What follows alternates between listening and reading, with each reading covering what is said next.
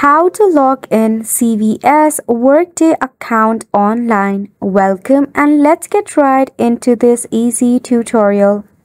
In order to log in, firstly in the search bar search for jobs.cvshealth.com. This will redirect you to your CVS Health Workday login portal.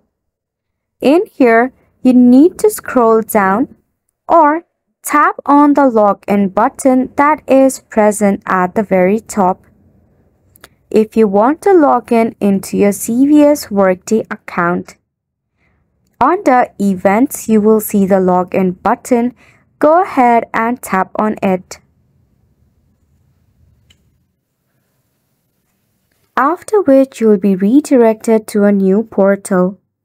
In here at the bottom, you will see a button called Workday Login.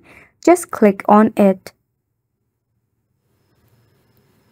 Now to sign in, all you have to do is simply enter the email address and your password.